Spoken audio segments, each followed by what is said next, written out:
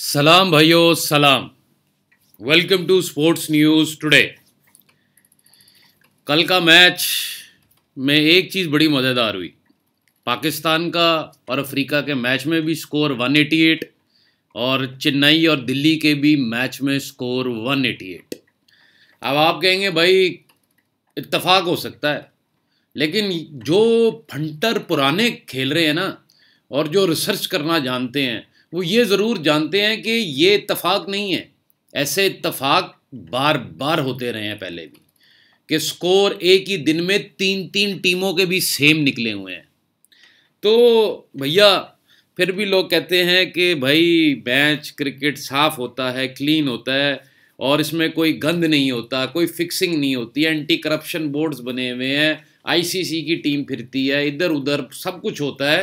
लेकिन आईसीसी ही अगर बीसीसीआई अगर क्रिकेट बोर्ड ही अगर इसलिए बनते हैं कि वो क्रिकेट की कोचिंग ना करें, ना टूर्नामेंट डिसाइड करें, बल्कि वो ये करें कि मैच को फिक्स कैसे किया जाएगा स्क्रिप्ट क्या बनाया जाएगा कि फंटर कभी ना जीत सके। तो बेसिकली बीसीसीआई हो या पीसीबी हो या क्रिकेट साउथ अफ्रीका हो या क्रिकेट ऑस्ट्रेलिया हो, कोई भी बोर्ड हो ईसीबी हो आईसीसी के अंडर सारे जो हैं, वो यही काम करते हैं मैच के स्क्रिप्ट का कि वो कैसे बनाया जाए। बहरहाल, हम चलते हैं आज अपनी एक और टीम की तरफ़। जी हाँ चार टीमों के मैं डाल चुका हूँ वीडियोस, अगर आपने नहीं देखी हुई है तो आप जाके देख सकते हैं। और दूसरी चीज़ ये कि काफ़ी लोग आ रहे हैं और कह रहे हैं कि भाई, हमें ये आपकी वेबसाइट चाहिए जहाँ पे आप ये दिखा रहे हैं। तो ये आपको व्हाट्सएप पे मिलेगी। जो कि न्यू लोग हैं, जो नए फंटर हैं, वो देख रहे हैं। ऐसी मेरे पास चार साइटें और चार की चार साइट्स इंडिया की टॉप लेवल की साइट्स हैं। जिनका ग्लोबल टी ट्वेंटी क्रिकेट से लेके दुबई की क्रिकेट में और बड़े जगहों के ऊपर इनकी अब एडवर्टाइजमेंट चलती है। तो ये बेस्ट साइट्स हैं, जो कि एक टाइम पे टोटली ही बेटफेयर की लोगों ने बड़ी कॉपीज़ बनाने की कोशिश की, लेकिन लाखों साइटों में से ये चंद साइट्स बची क्योंकि ये सबसे बेस्ट थी और इनकी मेंटेनेंस लेवल हर चीज़ जो है वो हैकिंग प्रूफ थी। तो आप यहाँ पे अकाउंट खुलवा सकते हैं। अब जल्दी से चलते हैं अपनी अगली टीम की तरफ़, जो कि है सनराइज़र हैदराबाद। सनराइज़र हैदराबाद पिछले साल बुरा परफॉर्मेंस देते देते फिर भी प्लेऑफ्स में आरसीबी को हरा के पहुँच ही गया। जो डेविड वार्नर से इनिंग एक्सपेक्टेड थी, वो हमें देखने को नहीं मिली। लेकिन याद, मुझे ये छोटा पॉकेट ग्रनेड जो है डेविड वार्नर, इसका मुझे आज भी वो मैच याद है कि जब ये अकेला पूरे स्टेडियम में अपना बैट घुमा घुमा के उछल रहा था तो कहीं ऐसी बड़ी इनिंग हमें डेविड वार्नर से देखने को दोबारा मिल सकती है इस आईपीएल में। आगे चले तो अब्दुल समद जो पिछले आईपीएल में नहीं कुछ खास कर सके क्योंकि धरती इनकी नहीं थी, लेकिन इस साल ये अपनी धरती पे खेल रहे हैं। तो कहीं ना कहीं अब्दुल समद जो है, पिछले साल इनसे बहुत एक्सपेक्टेशंस लगाई गई थी। इस साल नहीं लगाई जाएँगी, लेकिन ये लड़का आपको कोई ना कोई सरप्राइज़ पैकेज ला के देने वाला ज़रूर है, मुझे जहाँ तक लगता है। अभिषेक शर्मा हमें नज़र आ रहे हैं, और, खलील अहमद नज़र आ रहे हैं, उम्दा तरीन बॉलर और ये भी कोशिश कर रहे होंगे कि कहीं ना कहीं इंडियन टीम में जगह बन जाए, क्योंकि जैसा मैच आपने देखा दीपक चाहर और शरदुल ठाकुर का तो बासिल थम्पी और खलील अहमद यहाँ पे अपनी जगह बनाने के लिए बेकरार फिर रहे हैं और कहीं ना कहीं ये लड़के अच्छी परफॉर्मेंस देने वाले हैं। फिर चलते हैं जॉनी बेयरस्टो की तरफ़। जॉनी बेयरस्टो कमाल के प्लेयर हैं और जितना भी इनकी तारीफ़ की जाए, कम है। क्योंकि जो ओपनिंग ये कर रहे हैं, जेसन रॉय हो या कोई भी हो जॉनी बेयरस्टो खेलना जानते हैं और बॉलरों की धुलाई करना, उनको कूटना, मारना जानते हैं। प्रियाम गर्ज हमें आगे नज़र आ रहे हैं। बासिल थम्पी की हम बात कर चुके हैं। गोस्वामी नज़र आएँगे, फिर हमें ये भी खेलते हुए नज़र आ सकते हैं हमें। जेसन होल्डर जेसन होल्डर की गुड्डी चढ़ी है और बड़ी ही ज़बरदस्त चढ़ गई है। तो कहीं ना कहीं बहुत ही ज़बरदस्त बाइंग कहूँगा कि कैसे प्लेयर की कि जो कि एक बैट से भी अच्छा फिनिशर है और बॉलिंग भी अच्छी करा लेते हैं। तो ऑलराउंडर पैकेज सनराइज़र का ये बहुत ही ज़बरदस्त है। केदार यादव, बड़ा ही सरप्राइज़ है कि चेन्नई सुपर किंग्स से निकल कर और दिल्ली से निकल कर अभी एक और टीम में, मेरा ख्याल दिल्ली में भी थे ये, अगर मैं गलत नहीं हूँ तो अब एक और टीम में हमें सनराइज़र में ये दिखने वाले हैं। और केदार यादव जो हैं, पैंतीस साल की एज हो गई हुई है, लेकिन खेलते उमदा है। नो डाउट थोड़ा सा स्लो प्लेयर है, लेकिन एक दफ़ा बल्ला अगर इनका रवा हो जाए, चलने लग जाए तो अगली टीम के लिए मुसीबत खड़ी कर देता है। सिद्धार्थ कौल। सिद्धार्थ कौल भी कहीं ना कहीं देख रहे होंगे कि मेरी क्या जगह इंडियन टीम है, क्योंकि T twenty world cup sir पर है। जो यहाँ पे परफॉर्मेंस देंगे, वही आगे जाएँगे। अब भुवेश्वर कुमार और बुमराह के साथ दो तीन बॉलर और जाने हैं ऑब्वियसली टीम के अंदर। बेशक वो बेंच पे बैठे हैं, लेकिन टी ट्वेंटी वर्ल्ड कप में बेंच पे भी बैठना एक एजाज़ की बात है। अपने बच्चों को भी बताएँगे कि हम टी ट्वेंटी वर्ल्ड कप में इंडियन टीम में थे। फिर मोहम्मद नबी। मोहम्मद नबी इस वक्त दुनिया की हर क्रिकेट के अंदर फ्रेंचाइज के अंदर नज़र आ रहे हैं, जैसे डैनियल क्रिश्चन राशिद खान वैसे ही मोहम्मद नबी नज़र आ रहे हैं, और मुजीबुररहमान भी। तो अगर हम देखा जाए अब थोड़ा पूरी टीम कर लें, फिर बाद में बात करते हैं। शहबाज नदीम, इकतीस साल की एज है और कहीं ना कहीं दुबई में स्ट्रगल किया था, लेकिन यहाँ पर वापसी दिख सकती है। और मैं कहूँगा कि कहीं इनको मिस मत करे सनराइज़र खिलाना चाहिए शहबाज नदीम को। नतरंजन गुड्डी चढ़ी हुई है इनकी, और अगर ये परफॉर्मेंस देते रहे और अच्छा करते रहे तो कहीं ना कहीं ये भी। मतलब कि मैंने अपनी लाइफ में इंडियन फास्ट बॉलिंग में इतने लड़के ज़बरदस्त अच्छे नहीं देखे थे। किसी ने भी नहीं देखे थे। मतलब हैरत की बात है, जो इंडिया अपने बैट्समैन से जाना जाता था, मेरा ख्याल है, अगले दो सालों में वो अपने बॉलर से जानने मतलब कि जाना जाएगा। बुमराह की वजह से तो पहले ही बड़ा नाम हो चुका है इंडिया का, लेकिन अब ये लड़के और ज़बरदस्त मतलब के बॉलिंग में नाम करने वाले हैं। जैसे कहते हैं कि पाकिस्तान का बड़ा नाम है, उम्दा बॉलर क्रिएट करने में अब इंडिया भी उसके ऊपर गौर कर रहा है और कहीं ना कहीं अच्छे बॉलर इंडिया में दिख रहे हैं हमें। मनीष पांडे, देखते हैं कैसा खेलते हैं क्योंकि पिछले दो आईपीएल में कुछ खास परफॉर्मेंस नहीं दे सके और इनकी एक बड़ी अच्छी आदत है। जब मैच हारना हो सनराइजर ने तो ये बना हुआ मैच जो है मनीष पांडे कैच दे के चले जाएँगे आउट होके चले जाएँगे। और उसके बाद टीम ढेर, राशिद खान। मतलब मोहम्मद नबी मुजीबुररहमान राशिद खान। कहने को तो मैं कहूँगा कि वीवीएस कोच है इनके। वीवीएस शायद कोच हैं इनके कहीं ना कहीं, लेकिन टेवर बाइलिस ये कोच हैं और बहुत ही उम्दा सिलेक्शन है, जो कि टीम मैनेजमेंट ने की है। तीनों ही अफगानी जो है अपनी टीम में धर ली हैं मैं जो कि पूरी दुनिया में क्रिकेट खेल रहे हैं और फॉर्म में चल रहे हैं। जेसन रॉय को आईपीएल नहीं खिलाएँगे हम, लेकिन जेसन रॉय की ऐसी कमाल की परफॉर्मेंस हुई और दूसरी तरफ़ से मिचल मार्श विड्रॉ कर चुके तो जेसन रॉय की टिकट बन गई और मैंने आपको बोला था इंडिया वर्सेस इंग्लैंड के अंदर कि गुस्सा भरपूर निकालेंगे जेसन रॉय। और अभी गुस्सा ठंडा नहीं हुआ, जो एक्सपेक्टेशन इनसे नहीं की जा रही थी, ये आईपीएल में आके बताने वाले हैं। फिर विद्यमान साहा कहीं ना कहीं मैं कहूँगा कि ये लड़का बहुत ज़बरदस्त खेलना जानता है टी ट्वेंटी क्रिकेट लेकिन धोनी, गिलक्रिस्ट, कुछ ऐसे मार्क बाउचर, कुछ ऐसे बड़े कीपर हिस्ट्री में गुजरे हैं, जिनकी वजह से दूसरे जो हैं, वो बड़े अच्छे खिलाड़ी, वो दिखने में नहीं आए हमें। तो वृद्धमान साहब भी उन्हीं में से है। संदीप शर्मा, ओ ओ ओ ओ ओ, क्या टीम है यार ये। कमाल। मतलब कि बहुत ही उम्दा टीम। संदीप शर्मा भी हमें यहाँ पे नज़र आ रहे हैं, लेकिन उम्दा टीम तभी तक है जब तक रोहित शर्मा का बल्ला नहीं चलता ए बी डिविलियर का बल्ला नहीं चलता। जब इनके बल्ले चलते हैं तो दुनिया के उम्दा तरीन भी टीम आप खिला लें, ये सिंगल हैंडेडली ले जाते हैं मैच ग्लेन मैक्सवेल वगैरह, क्रिस गेल पॉलार्ट नाम बहुत हैं। विजय शंकर चर्चा बहुत थी विजय शंकर की, लेकिन वैसी परफॉर्मेंस जो इनसे एक्सपेक्ट की जा रही थी, मुझे देखने को नहीं मिली अभी तक। तो कहीं ना कहीं ये भी चाह रहे होंगे कि अच्छा परफॉर्म करें इस साल।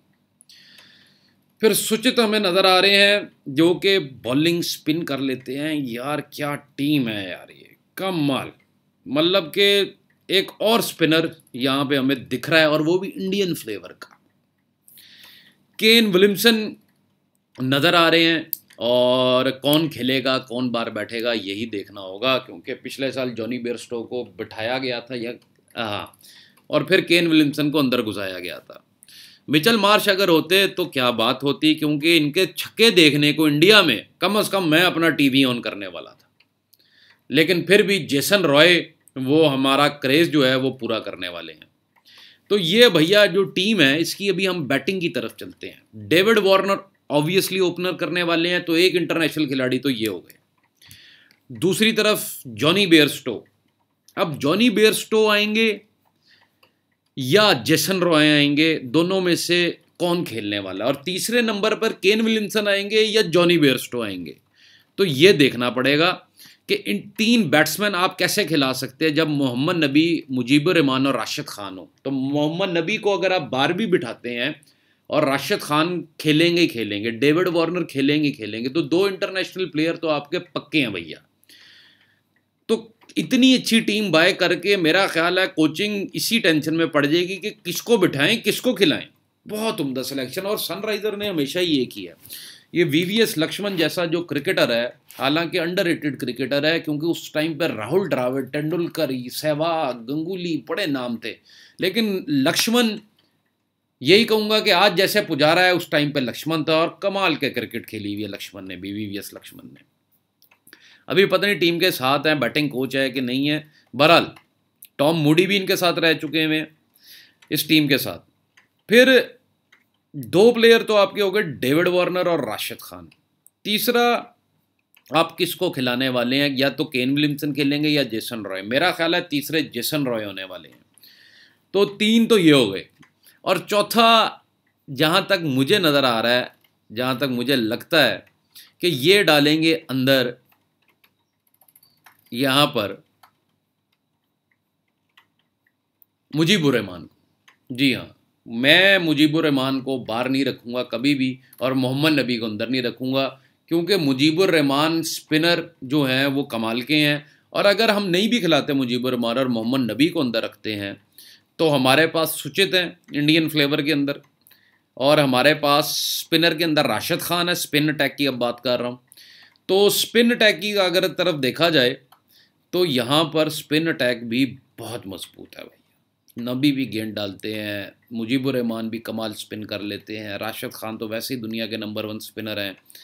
तो यहाँ पर हमें सुचित के साथ इंडियन फ्लेवर में शबाज नदीम जो हैं, वो नज़र आने वाले हैं। तो इतने स्पिनर तो नहीं खिलाने वाला, लेकिन चेन्नई की पिच जो है, हमने देखा कि अगर चाहर उस बॉल को बैठा रहा है और गेंद घूम रही है तो गेंद तो बैठ रहा है चेन्नई के अंदर ऑलरेडी तो देखना ये होगा कि कितने स्पिनर अब टीम में खिलाते हैं। राशिद खान के साथ अब सुचित आते हैं या शहबाज नदीम आते हैं, क्योंकि दो स्पिनर तो मिनिमम होंगे। अब चलते हैं हम अपने ऑलराउंडर्स की तरफ़। विजय शंकर हमें ऑलराउंडर्स में नज़र आ सकते हैं, जो कि मेरा नहीं ख्याल है कोई इतने ख़ास ऑलराउंडर हैं। मोहम्मद नबी हमें ऑलराउंडिंग में नज़र आ सकते हैं और जेसन होल्डर को नहीं भूला मैं, ये भी कमाल के ऑलराउंडर हैं। तो कहीं ना कहीं मैं प्रेफर करूँगा कि विजय शंकर या, क्योंकि इंटरनेशनल चार ही खेल सकते हैं तो कहीं ना कहीं जेसन होल्डर की जगह नहीं बनेगी टीम में। तो आपको खिलाना ही पड़ेगा विजय शंकर को। फिर आगे बात की जाए इनके मिडल ऑर्डर की तो अब्दुल समद हमें मिडल ऑर्डर में नज़र आ जाएँगे। फिर हमें आ, क्या कहते हैं केदार यादव नज़र आ सकते हैं। तो मिडल ऑर्डर भी मोहम्मद नबी के साथ काफ़ी इनका स्ट्रॉन्ग दिख रहा है और मनीष पांडे। तो ये चार खिलाड़ी जो हैं ये मिडल ऑर्डर को बड़ी रीढ़ की हड्डी की सपोर्ट देने वाले हैं। फिर फास्ट बॉलिंग की बात की जाए तो कौन से फास्ट बॉलर खेलने वाले हैं भैया? संदीप शर्मा और उसके बाद आपके नतरंजन, ये तो नतरंजन को खिलाएँगे खिलाएँगे, क्योंकि जो लड़के फॉर्म में हैं, वो ऊपर आएँगे आएँगे। सिद्धार्थ कौल को बाहर बिठा सकते हैं, क्योंकि भुवेश्वर कुमार को खिलाना बनता ही बनता है। कैसे आप भुवेश्वर कुमार को बाहर बिठा सकते हैं? फिर बासिल थम्पी और खलील अहमद में मुकाबला जाएगा। मेरा ख्याल है मेरा वोट जाएगा खलील अहमद को। यार, इतनी कमाल टीम है, क्या निकालोगे, क्या डालोगे? जिसको निकालोगे, उससे बराबर का प्लेयर आपके पास रिप्लेसमेंट के लिए मौजूद है। तो मेरा नहीं ख्याल है आई की कोई भी ऐसी टीम है जो कि इतनी मज़बूत है। तो मैं तो इस टीम का वैसे ही बोलूँगा कि कमाल का दीवाना हो गया हूँ मैं इस टीम को देख के। अभी तक चार वीडियोस बनाई हैं, चार वीडियोस में मुझे ऐसी कोई टीम नहीं नज़र आई है जिसने इतनी अच्छी बाइंग की है। तो भैया, बहुत उम्दा टीम है सनराइज़र और कहीं ना कहीं सनराइज़र जो है बड़ी बड़ी टीमों को नाको चने चुवा देगी, क्योंकि कहाँ से भागोगे? जब ग्यारह के ग्यारह ही मज़बूत हैं, यहाँ पे पाँच नहीं मज़बूत है, यहाँ पे दो नहीं मज़बूत है, चार नहीं मज़बूत है, यहाँ ग्यारह के ग्यारह मज़बूत है। भाव की तरफ़ चलें अगर हम तो सनराइज़र हैदराबाद हमें मिलता है सात रुपये सॉरी छः रुपये अस्सी पैसे। सात रुपये ही हो गया अप्रॉक्सीमेटली तो छः रुपये अस्सी पैसे हमें यहाँ पे दिख रहा है और रॉयल चैलेंज बेंगलोर मैच जीत के भी क्या है पाँच रुपये चालीस पैसे। तो रॉयल चैलेंज बेंगलोर को तो मैं आज से इस दफ़ा लोग बड़ा कह रहे हैं कि R C B R C B R C B जीतेगी। और ये पहली दफ़ा नहीं है, हर दफ़ा ही लोगों का आर सी बी का रहा है। मेरा ख्याल है आर सी बी की जगह अगर आप आर सी बी कप लगाने वाले हैं तो बेहतर यही है कि आप सनराइज़र उसकी जगह चूज़ कर लें। बहुत ही उम्दा टीम है और मैं तो भैया ये वीडियो के बाद जो है कप लगाने वाला हूँ सनराइज़र के ऊपर। सही है? मतलब कि ये नीचे भी अगर तीन रुपए भी मिलती है तो मेरे घर प्लस होते हैं। मुझे नहीं है कि ये कप ही उठा ले जाके। लेकिन मुझे है बुक बनाना है। फंटर का हमेशा ध्यान होना चाहिए बुक बनाने में, क्योंकि नॉन कटिंग कभी कोई नहीं जीता मैच स्ट्रेटजी के साथ थोड़ा थोड़ा प्रॉफिट जब आप इकट्ठा करते हैं और जैकपॉट की तैयारी ऑटोमेटिक बीच में हो जाती है। जैकपॉट, लोग कहते हैं, जैकपॉट दे दो, जॉकपॉट दे दो। जिस दिन आप ट्रेडिंग करेंगे ना, जैकपॉट आपके हाथ ऑटोमेटिकली लगेगा, भैया मेरे, आप एक जगह पच्चीस हज़ार प्लस हैं, दूसरी जगह आप तीस हज़ार प्लस हैं। अब एक टीम दस पैसे आ गई है, पंद्रह पैसे आ गई है तो आप पाँच हज़ार उड़ा दिया करें बीच में से। एक तरफ़ बीस हज़ार कर लिया, या एक तरफ़ पच्चीस कर लिया, दूसरी तरफ़ बड़ी जीत बन जाएगी आपकी। तो कहीं ये चीज़ मत भूलिएगा ट्रेडिंग की, क्योंकि साठ मैचों के अंदर नॉन कटिंग मत चल के, बाप का माल है, ये है, वो है, भाई तुम्हें कोई नहीं कुछ समझता। कोई नहीं बीसी से आई से आने वाला, के आओ यार, तुम बड़ा हार गए हुए आओ इंडियन क्रिकेट टीम में, हमें मशवरे दो कि हम क्या करें?